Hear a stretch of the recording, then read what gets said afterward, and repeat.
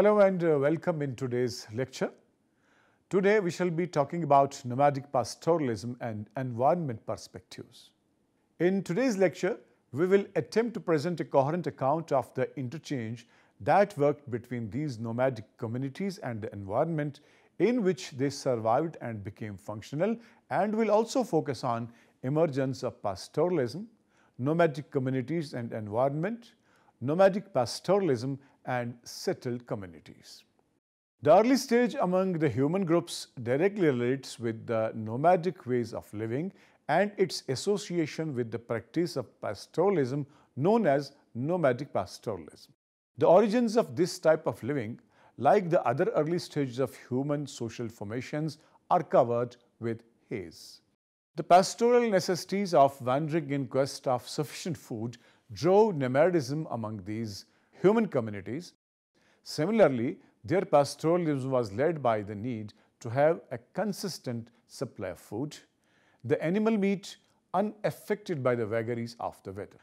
This confluence gave rise to nomadic pastoralism as a defining stage in human societies that have coexisted with different social groups since their origin.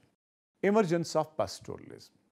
Early evidence on human groups and their environment suggests that the animals found nearby were killed for food, aided by stone tools and utensils used in slaughtering and skinning in addition to hunting.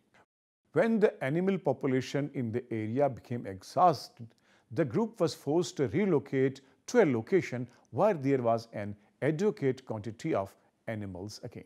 The fossil remains found from the Narmada region indicate six varieties that lived from the Middle Pleistocene age vis-a-vis Sus nomadicus, Bos nomadicus, Elephas hysudricus, Equus nomadicus, Hexaprotodon nomadicus and Stegodon insignis genesia. Similarly, fossils that Pravara river, a tributary of Godavari, produces evidence on Bos nomadicus, Equus nomadicus and Elephas nomadicus. These species are broadly equivalent to wild ox, horse and elephant variations that ultimately became domesticated species. Human hunting groups frequently obtained their food from the same hut, where they concentrated mostly on larger members of the herd. During the operation, young members of the herd often were captured alive and kept in cage. This approach appeared to have sown the seeds of animal domestication, which would have led to the practice of pastoral. The hunting-gathering communities had begun to focus on some species of large animals for diet very early on, and wild sheep and goats were heavily hunted during this period. This approach protected younger individuals and female reproductive members so that this source of nourishment would not run dry. The accidental capture of a few younger animals as well as the expertise gained in taming them indicated an entirely new way of living based on the steady supply of animal food. This would have resulted in greater degree of dependence, in fact, mutual dependence between people and animals. The three main factors in the lifestyle of hunter-gatherers would have helped domestication of animals to begin as a regular practice. The movement of animal populations is being constrained or restricted due to a variety of environmental variables increasing the likelihood of capture and captivity by human groups possibilities for breeding the animals in captivity, so assisting human groups in maintaining an optimal population for regular food consumption, control of captive animal feeding in order to improve breeding of stock. The archaeological evidence of early animal domestication is both sparse and imprecise. Generally, it is impossible to tell the difference between wild and domesticated animal bones. Domestication took a long time and the earliest indication of domestication is of a dog, but it was most likely not for food. It was widely assumed that sheep and goats were the first species to be domesticated for food purposes. The behavior of the animals was important feature that would have played a big influence in domesticating them. According to Andrew Smith, Pastoralism in Africa, Johannesburg 1992, the first domesticated animals came from better disciplined wild herds in arid conditions where animal movements were easier to manage.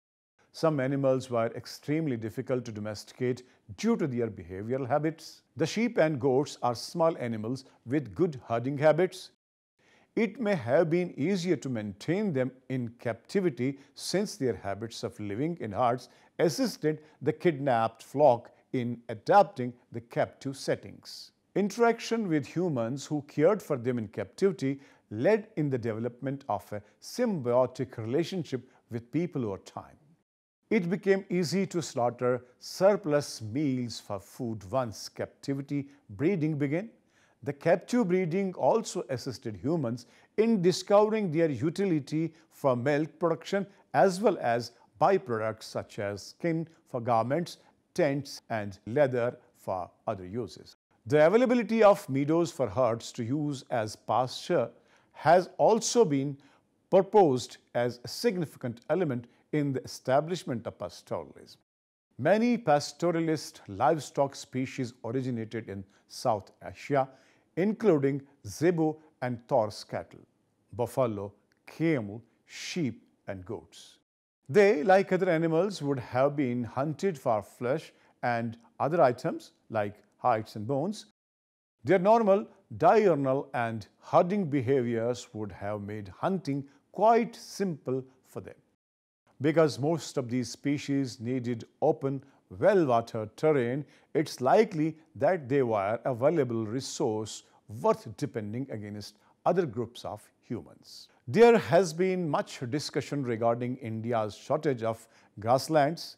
There are climatic and edaphic grasslands which occur at extremes of cold and aridity, shallow soil, and deep waterlogging. Grassland is defined as any habitat that does not support trees or plants. These grasslands have supported different groups of big grazing herbivores, including some endemic species. However, these constitute only a minor percentage of India's land area, the most of which is covered by forested vegetation, forest woodland or shrubland. The presence of a tree layer does not eliminate grasses. There can still be a significant grass cover under these trees. Whilst traditionally one associates African pastoralism with grasslands, the Masai of East Africa being a prime example, not all pastoralist livestock populations browse as do sheep and cattle in Indian conditions. The severe nine-month dry season typical of peninsular India's Deccan and Western Ghats cannot produce palatable grass cover for medium-sized herbivores. Browse, which comprises of edible plants, often legumes, shrubs, and as asbur, for species and fallen tree litter constitutes a key element of the diet. These grazing components as well as grass standing crop are more prevalent in open forested communities than in closed wooded communities. When compared to open thorn bush and dry deciduous communities. Dense, moist deciduous forests offer minimal feed at the ground and shrubs layer levels. Therefore, their carrying capacity for terrestrial mammals is poor. It's effortlessly possible, therefore, to imagine pastoralist people in Indian forests. Nowadays, we are witnessing same with the Jammuwala buffalo herders in the once dense Shivalik and Himalaya forests, contingent on looping tree leaf and in drier Aravalli and Saurashtra hill forests with distinct Gujar communities lopping trees and shrubs for mixed cattle and buffalo herds. According to Brian M. Fagan, the commencement of the practice of domestication had a far-reaching impact from an eco-environmental perspective. Domestication means a genetic selection emphasizing unique characteristics of continued use to the domesticator. Wild sheep have no wool, wild cows only provide milk for their offsprings and wild chickens do not lay extra eggs. Isolating wild populations for selective breeding under human supervision could result in change in wool bearing, lactation or egg production. The clearest evidence of animal domestication in India comes from the Adamgarh hill in the Narmada basin. The site is actually a rock shelter with Mesolithic stone tools and other artifacts. Microlithic tools, animal bones and ceramics are found in a thick layer of black soil that varies in depth from 15 to 150 centimeters. The animal bones found in the excavation comprise the domestic dog Canis familiaris, Indian humped cattle, Bos indicus, water buffalo, Bubalus bubalis, goat, Capra hircus aegagrus, domestic sheep, Ovis orientalis, Vignai blythe, Res domesticus, pig, Sus scrofa cristatus. Another fascinating type of proof derived from graphic images on rock shelters is the employment of domesticated horses to transport wheeled vehicles. A set of rock shelters known as the Morhana Pahar group can be found near Mirzapur in Uttar Pradesh. Microlithic tools have also been discovered at the same site. Nomadic communities and pastoralism. Some hunting-gathering tribes have observed how animals were domesticated and nurtured since the beginning of the practice of pastoralism. It has been shown that animals keeping was a highly prevalent activity among us settled agriculturalists who have adopted a way of life in which pastoralism was accorded a supplementary status. A comparison of the two forms of sustenance is a useful beginning point for understanding the circumstances that may have given rise to nomadism among pastoralists as opposed to a properly settled mode of living among agriculturists. The pastoralists and the agriculturists depend on land and water resources for their sustenance. The agriculturists utilize the productivity of the land for raising crop periodically with the help of irrigating potential of nearby water resources. The pastoralists too utilize the productivity of the land but depend on nature to replenish the consumed resources. The herds of animals kept by them use the resources of land as pastures for grazing purpose but pastoralists do not resort to any adopted measure for rejuvenating the foray of fixed areas of land. Similarly, water resources are utilized immediately without any concerted effort to modify them.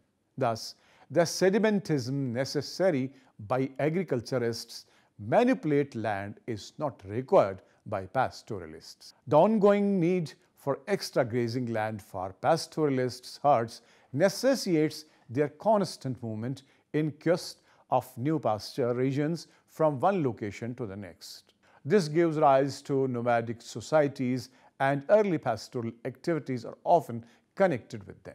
Nomadic pastoralists used animal herds as resource bases and the size of their herds was determined by the amount of regularly accessible pasturage. Individualism was stronger in the pastoral economy than in the agricultural economy. The management of pastures with rigorous laws about the periodicity of usage and seasonal rights of usage may have been the principal community issue among nomadic pastoralists. Environmental and seasonal factors appear to have played a significant impact in the lives of early nomadic pastoralists. Unmanageable distances traveled in pursuit of suitable pasture and water supplies would have destabilized the group. This would have resulted in some form of territoriality, although inadequately defined. As a result, interaction between distinct territorial groups as well as conflict over territorial authorities may have been feasible. Settled communities and nomadic pastoralism. The adoption of a nomadic mode of living by pastoralists will be discussed as under. Hunter-gatherers gradually evolved in a pastoral society while agricultural sedentism occurred simultaneously. It is clear that nomadic pastoralists did not live in isolation from other cultures and would have kept in touch with them. As Romila Thapar suggests, some pastoralists were nomadic while others were semi-sedentary. Occasionally pursuing minor agriculture, the majority of pastoralists were part of the trade system that brought them into contact with cultivators and others. The archaeological sites containing traces of domesticated animals indicate that the size of the herd kept by pastoralists was not excessively huge, was within manageable boundaries and was therefore prone to creating ecto-symbiotic ties with neighboring groups producing cereals. Both pastoralists and growers benefited from the arrangement. The pastoralists' cereal needs were met by farming communities. As a result, the pastoralists were able to forego the additional labor-intensive effort of planting food crops. They could devote the majority of their effort to keeping the animal herds in check. In exchange, the farmers received a steady supply of meat, wool and skin. Over time, there would be a proliferation in the diversity of animals, partly in response to a demand established by agriculturists. The herd was also encouraged to visit the post-harvest fields so that the stubs left over from the harvesting operation could be cleaned and animal dropping could be used as manure. The periodic migration of nomadic pastoralists to agricultural villages would have resulted in nomads supplying grazing services for the cultivating livestock groups. This service, although with a few other goods, may have been exchanged for agricultural fodder, it is worth noting that a different climatic condition in peninsular India gave rise to a different type of development. Though the area is generally mountainous, the drainage system of the main rivers has been such that pasture land in patches but in great condition has been available all throughout from the west to east. From their inception, the communities in such region demonstrated a strong desire to keep a substantial cattle population keeping livestock was not as difficult as relying only on agriculture. Such frequent movements bring pastorals into contact with communities of high civilization through which craftsmen's products find their way. Pastoralist societies often sought out big pastures in the vicinity of their habitat. They would even travel to other areas in search of good pastures resulting in nomadic tendencies that found a home with pastoralists. Because of the population state of pastoral villages, agriculture was rarely undertaken. Rainfall therefore had only a minor role to play against being a key feature for the settled agriculturists. The maintenance of large animal herds was labor intensive but was manipulated with the help of the elastic nature of resources. When needed, the herd was reduced in size through gifts or repayments to agriculturists. The size would soon be restored through reproduction. A kinship network based on lineage seems to have guided the pastoral communities. The maintenance of large animal herds was labor intensive, but it could be managed thanks to the resources flexibility. When appropriate, the herd size was reduced through gifts or repayments to agriculturists. The original size would be quickly recreated by reproduction. The pastoral groups appear to have been guided by a kinship network centered on lineage. With this, we come to the conclusion of today's lecture. Hope you have understood every aspect of the subject. See you in some other class. Till then, goodbye and good luck.